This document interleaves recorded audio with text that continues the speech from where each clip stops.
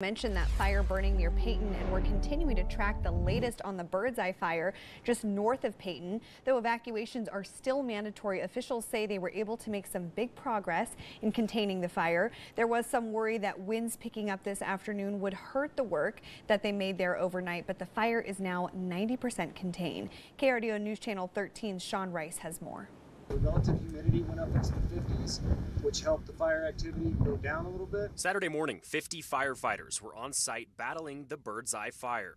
Their work allowed them to declare 60% containment early Saturday morning. By 3:30 p.m., the El Paso County Sheriff's Office declaring 90% containment. El Paso County fire officials explained how they were fighting the flames. Go around either side in two divisions, and once either side connects the, the lines together, then we'll have 100% line construction. And then once that line is constructed, then they'll make sure that it's going to hold any kind of fire activity within that line. Evacuations are still in place for Birdseye View residents. The fire has affected 21.6 acres of land in the Peyton area, a number they don't expect to grow significantly. Don't expect very much growth. Uh, there might be a little bit, but that's basically it. It's still probably going to be in that same range.